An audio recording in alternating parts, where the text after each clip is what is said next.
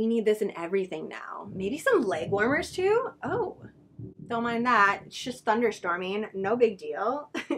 Fantastic day to finish this up. Minnesota Yarn Shop Hop, year three of me participating in this, of just being a fiber enthusiast and wanting to walk through all 12 shops see the colorway, see the pattern, all the decoration, everything all together, you would think by now I'd have everything kind of just like some general plan of hitting up all 12 shops. No, that is not the thing. I did not make it to all 12. I only made it to two this year. However, this was definitely the most relaxing and enjoyable time that I've had at this event. Very lucky in that these yarn shops are local to me. So it's not like I had to drive to come to all 12 of these shops because I know there's a lot of people that do and they get together with their friends who are either out of town or out of state even, fly in, come have a day of it, start at 10 in the morning on Thursday and by 6 at night they're done and they have their finisher button. It's just not my journey, I guess. It's just not what it is. I tried to do it the very first year and that was so stressful,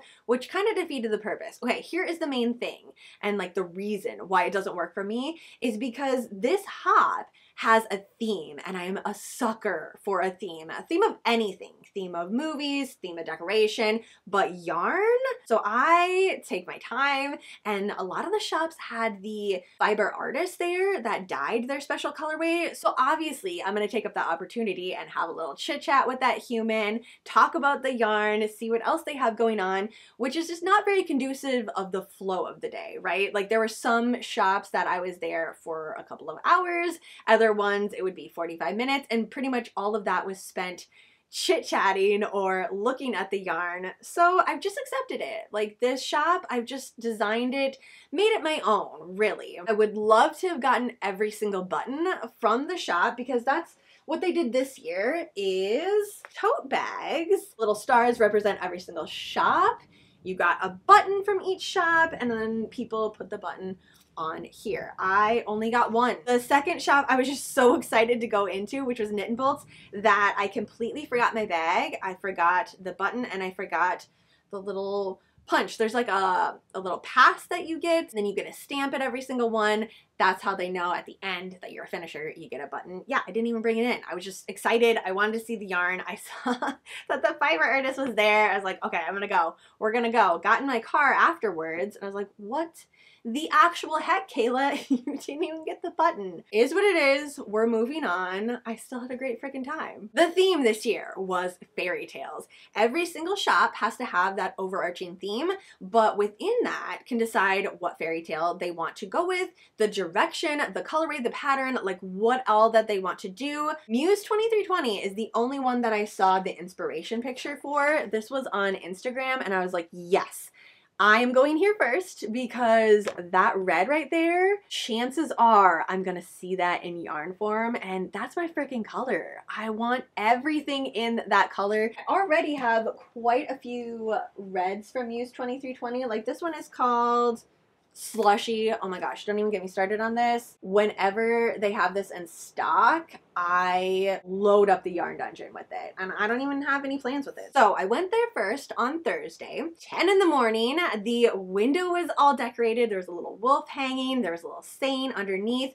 Walked through the door and realized, oh my gosh, they did five different specialty colorways. Not just one, five freaking colors and all of them together were just so gorgeous. What I thought would be amazing was all of them together to make a really long cape. Sadly, I have found out recently that I'm allergic to alpaca and this had Suri alpaca in it. So I wasn't able to get any of the specialty colorways. It was a combination, so there was two different hanks in there, twisted up together in this super big chunky hank of yarn. They looked gorgeous. There were shadow boxes with baskets underneath that that had the yarn in it. There was also a huge wall of just all of the extra yarn which didn't last long. So Muse 2320 is a small batch hand-dyed yarn artist.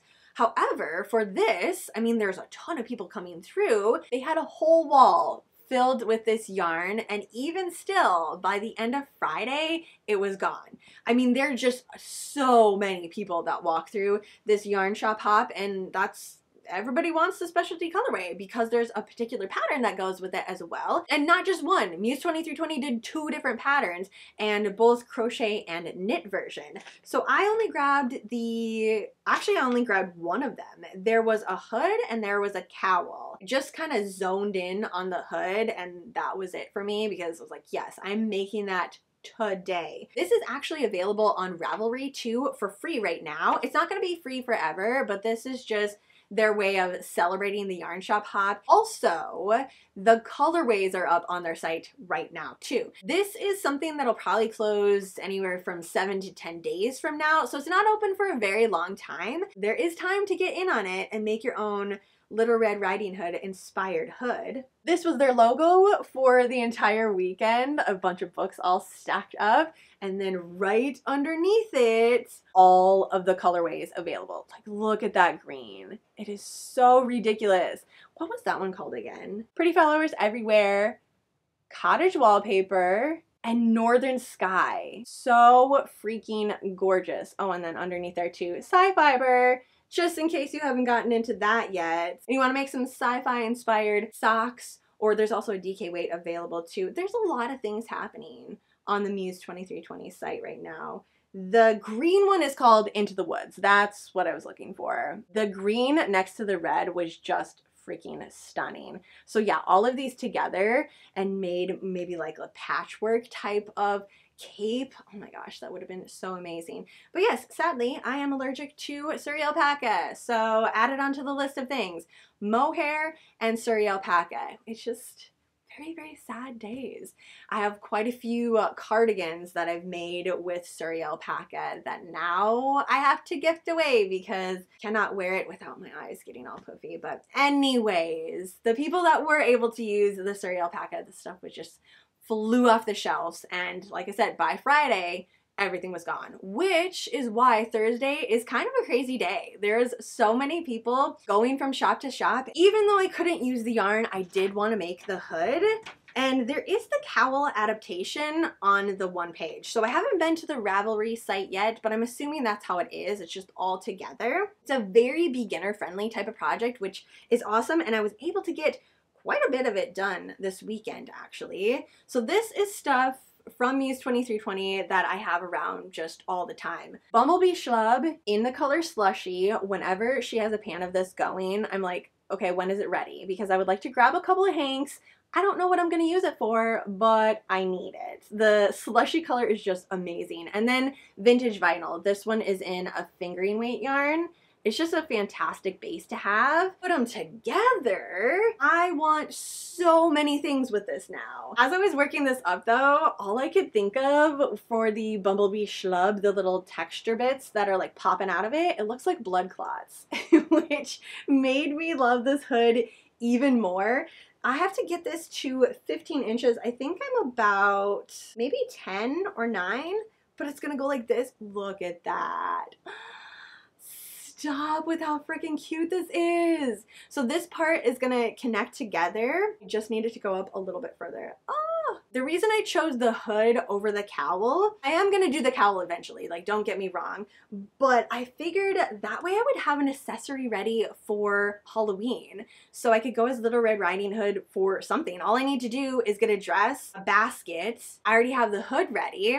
There we go, one costume down. But yes, the Bumblebee Schlub, I cannot speak highly enough about this stuff, and especially if you're a horror fan, here you go. Vintage vinyl, Bumblebee Schlub. I did end up actually getting some yarn from Muse 2320. First up is this mini bundle, which I'm a sucker for mini bundles. All of them together, the colorway is called Peacock. I caked these three up with the intention of putting them together with the vintage vinyl and doing like a Beetlejuice themed pair of socks. At the moment, I'm working with my ribber, so I thought it'd be fun to have just some new colors to work with that. The other two hanks, they'll get used for something. I don't know, I have a lot of blue that this would go with. Maybe this will actually end up going with the pair of Beetlejuice socks. It's very mossy looking. So I guess I should probably just cake that one up too. She also had a brand new addition to the Muse Brews, which is their line of specialty teas,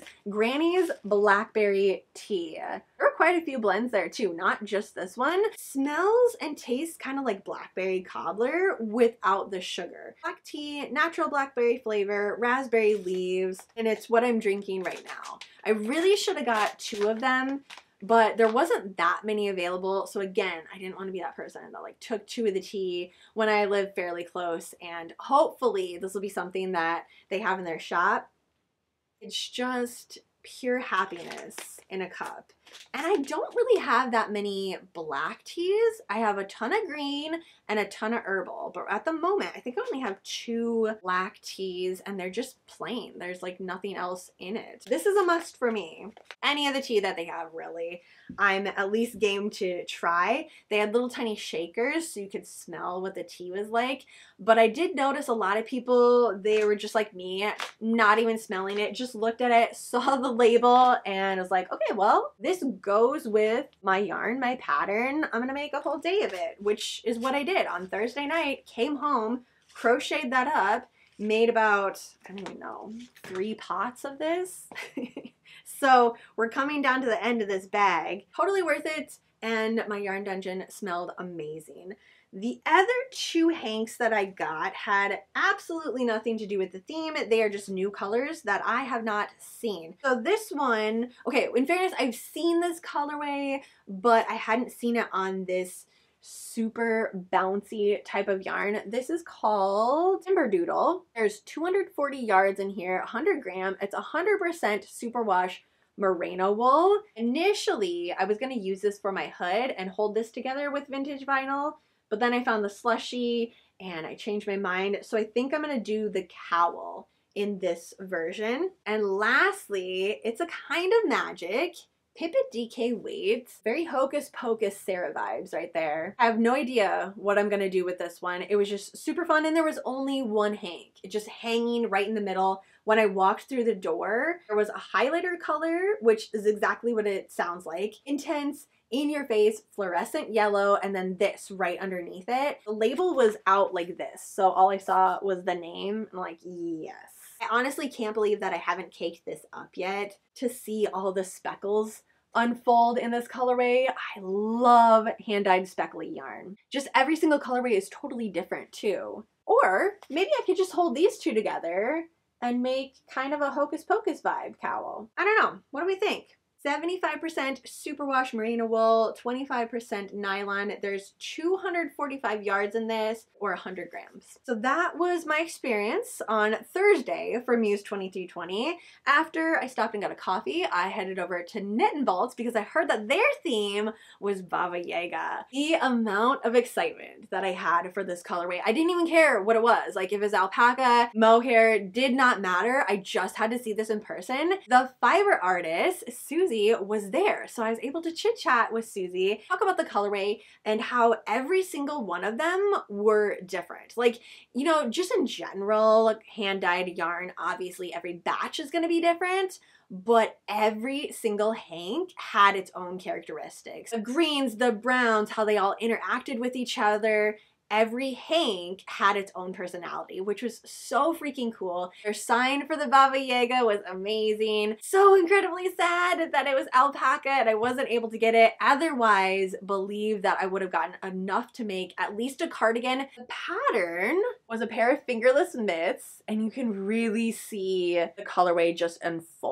This is also up on Knit and Bolts as a pre-order. It doesn't say when they're going to cancel it. I mean, fingerless mitts, you can never have too many of those. I know I can't anyways. It's like blankets. I can always find a use for another pair of fingerless mitts. And when people ask you about it, you can say, yes, these are my Baba Yaga fingerless mitts. Great conversation starter. To finish out my yarn shop experience of 2024, I ended up going back to Hastings, Minnesota on Sunday. In fairness, they had an event planned from 2 to 4, which was the absolute last hours of this shop at a local brewery called Spiral Brewery. The event was named Brew and Ew, and there was a baby sheep there. This was the best way to end it, in my opinion, because everyone had just come off of doing the hop and however they did it. And it's very hard to chit chat with other shop hoppers during the event because we're all going different pace. Some of us are hanging out longer at a shop, me chit chatting where others wanted to go, go, go. But here it was the end. So we just took over this brewery, fibers spread over every single table, and talked about current projects, future projects from all of the yarn that we had just found. Basically, the best case scenario of ending this shop hop. very thankful for the people that put that extra portion onto the yarn shop hop. That was my experience. Even though I only made it to two out of the 12 shops, the people that I was able to meet and chit chat with, honestly, this was one of my favorite years. Don't forget to check out this hood pattern. Maybe check out this combination of colors. I don't know. Obviously, I'm partial. These are my favorite, but there is a ton of combinations for other colorways as well. Thanks for hanging out with me today, and I will see you in my next video.